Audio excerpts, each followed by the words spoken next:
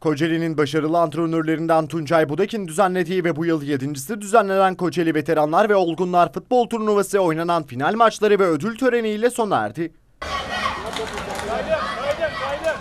En iyi taşla, ben de burası. Birazdan futbolcularla ilgili bilgileri vereceğiz sizlere. İlk atak şimdi Ruhi'de top. Ruhi. Ruhi bıraktı bir şut geldi.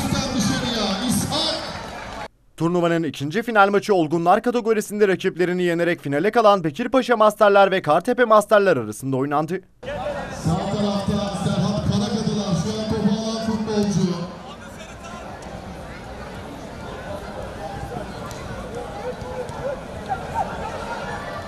İshak. Ahmet.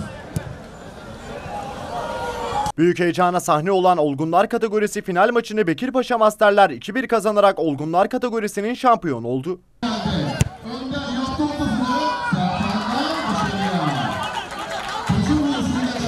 Önder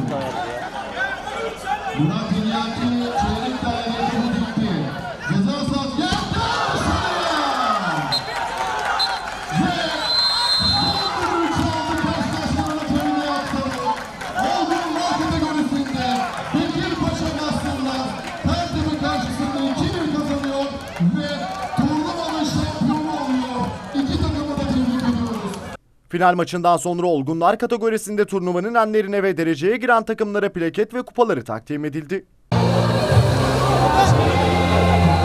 Turnuvanın en iyi kalecisi İdris Masterlar'dan Ramazan Özdamak.